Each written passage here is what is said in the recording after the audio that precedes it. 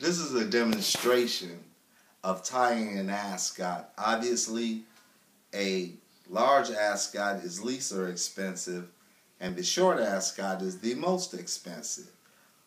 Less is more. And so I'm going to demonstrate the large one first to show you how exactly it is worn and how to keep it actually on your neck without problem.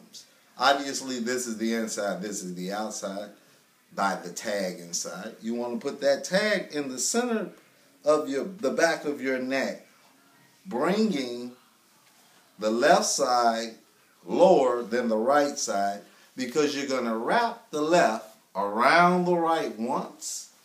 You'll wrap the left around the right twice.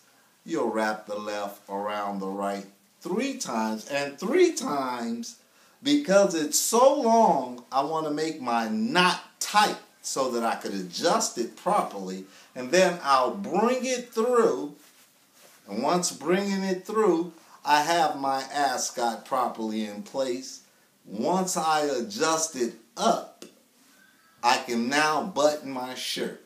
Once I button my shirt, I want to make sure that the top button is unbuttoned, the second button is buttoned and so on and so forth. That's how you tie an ascot without looking in a mirror, without even having any type of guidelines other than that. I'll demonstrate to you, obviously, how to untie it the same way you tied it. Just bring it back through, bring it out of your shirt, and it's untied. Now, this is my demonstration to show you that less is more. Obviously, this ascot actually cost a fraction of this one. This is a very expensive ascot. The reason why is because number one, it's reversible. You can wear it on either side. And I'm going to demonstrate it on the side that I did not show you to prove my point. I'll wrap this one once. I'll wrap it if I can find it again, and I'll bring it through. Once bringing it through, it's going to sit very closely to my chest.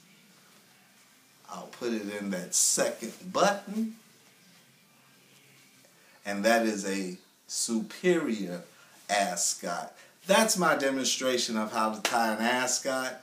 Really, really simple, but it's an elegant piece of man's material or man article to wear. And that's the end of my demonstration. I hope you enjoyed it. Thanks. Next